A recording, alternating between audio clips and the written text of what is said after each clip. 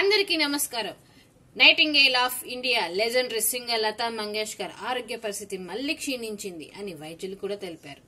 Veteran singer Lata Mangeshkar ఆరోగ్య పరిస్థితి ప్రస్తుతం విషమంగా ఉంది. వెంటిలేటర్పై ఉంచి చికిత్స కూడా అందించారు. వైద్యుల పర్యవేక్షణలో ఉన్నారు అని డాక్టర్ ప్రీతీష్ సందాని పేర్కొన్నారు.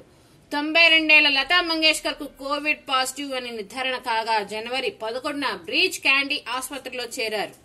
కోవిడ్ ద్వారా న్యూమోనియా కూడా అటాక్ అయింది. అలా లతా మంగేష్కర్ ఇక కోలుకున్నారని వార్త కూడా తెలిసింది. తర్వాత అందరూ సంతోషం కూడా వ్యక్తం చేశారు. కానీ ఏమైందో ఏమో కానీ ఆ కోకిల రాగం మన నుంచి దూరమైంది. ఇక మన మధ్య లేరు అనే వార్త కూడా వచ్చేసింది.